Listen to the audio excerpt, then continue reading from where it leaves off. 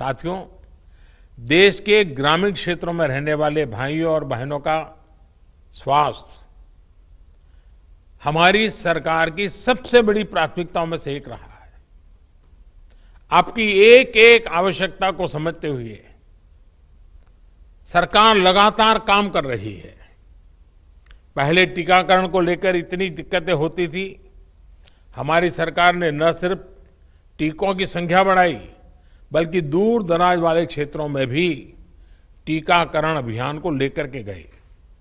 पहले गर्भवती महिलाओं और नवजात बच्चों में कुपोषण की बहुत ज़्यादा समस्या थी।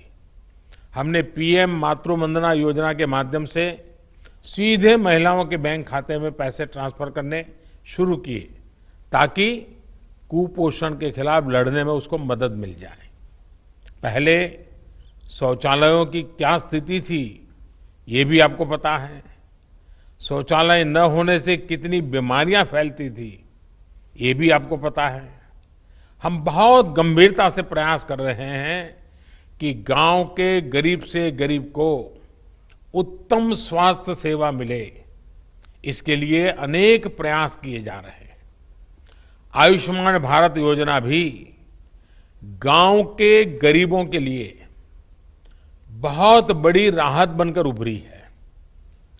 इसके तहत अब तक करीब करीब एक करोड़ गरीब मरीजों को अस्पताल में मुफ़्त इलाज मिल चुका है। इस योजना ने ग्रामीण इलाकों में जहाँ अस्पतालों की कमी है, वहाँ अस्पतालों के निर्माण में भी मदद की है। सरकार द्वारा भी देश भर के गाँवों में लगभग डेढ़ lakh health and wellness centre बनाने का काम तेज़ी से चल रहा है। इन सेंटर्स में अनेक गंभीर बीमारियों के टेस्ट की सुविधाएँ मुहैया कराई जा रही है।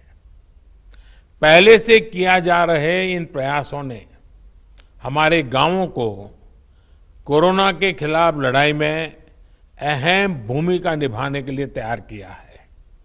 मुझे विश्वास है कि आप सभी अपनी सामूहिक कोशिशों से, अपनी एकजुटता से, अपनी संकल्प शक्ति से कोरोना को ज़रूर परास्त करेंगे।